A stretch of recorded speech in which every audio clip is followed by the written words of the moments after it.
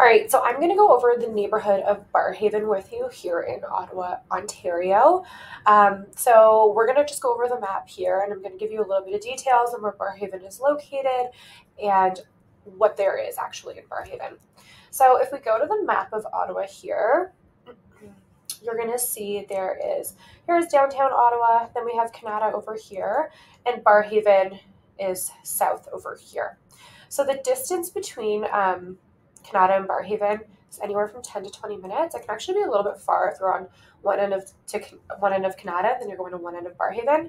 However, they're both about the same distance to downtown. So if you're living in Barrhaven, um, your commute will generally be 20 to 25 minutes to downtown, um, and it's around the same for your commute from Kanata. The thing is, highway access is a little um, different. Um, if you live in Kanata, highway access is more direct, whereas in Barrhaven, that's not the case.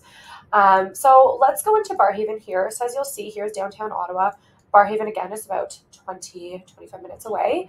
Um, Barrhaven is also very close to Manotick. I will go over Manotick in another video. Um, so Barrhaven is actually one of our newer suburbs. It's newer than Kanata, um, and it's rapidly expanding. Um, so you will see a lot of newer homes. Now, keep in mind with newer homes, you generally get smaller lots. Um, but again, Barrhaven's beautiful, and there's um, tons tons of things to do in the area. So you're going to see over here, so it's um, Old Barrhaven. So this is actually one of the older parts of Barrhaven, as per the name. Um, and you will get some older homes here. And the good thing about that is you will see them on some bigger lots because um, older homes were just not as compact as they are now. So then you also see over here Riverside South. Um, technically, that is not Barrhaven. However, I refer to it as Barrhaven, even though that's really not accurate. Um, so if you've heard a lot about Riverside, Riverside South, um, here it is over here.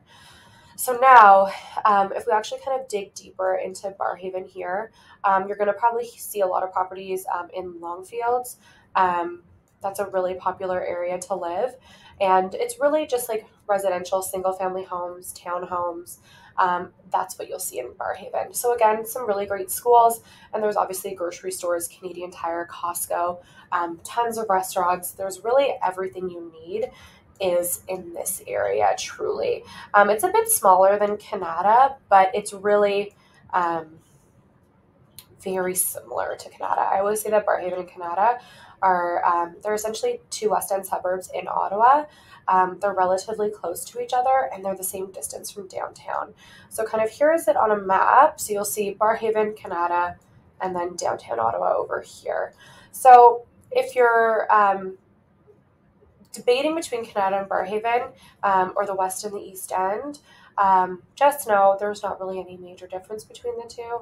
Um, really just comes down to essentially where you find the home for you um, if you're looking to move. And I really wouldn't um, stray away from either or because they're both really great suburbs here in Ottawa. So that's just a quick little overview here of Barrhaven and actually going over it on the map with you. Um, thanks for watching, and if you have any questions, um, please let me know. Thank you.